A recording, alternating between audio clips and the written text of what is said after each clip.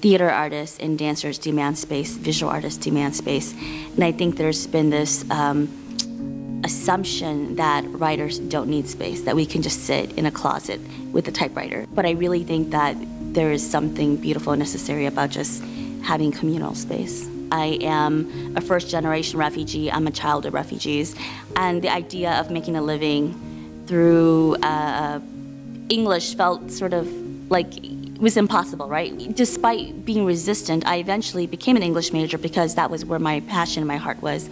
I knew since I was a kid I wanted to be a writer, and this was the the closest fit, the only fit really, to making that dream come true. And I think that uh, for me, writing and literature has never been um, a, a luxury. It's been a necessity. Literature is important because um, stories are a way for us to learn about other people, to create empathy.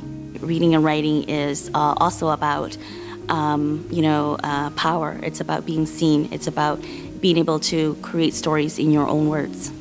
So the Twin Cities has a really vibrant um, literary arts community. We have uh, a lot of publishing houses, uh, literary arts organizations, formal, informal um, uh, groups. We have uh, lots of independent bookstores and it makes so much sense to have a literary hub here on the, University of Minnesota campus. Uh, having a space that's easily identifiable with literature and arts um, can create like direct connections, you know, with, with uh, working artists and folks in the industry, uh, uh connecting them with the students here on campus.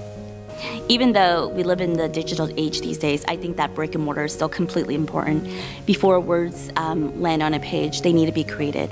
And I think that having a space that uh, nurtures the people who create these words is uh, important. When I go into other buildings, I can see their histories on the wall. I know exactly what they're studying.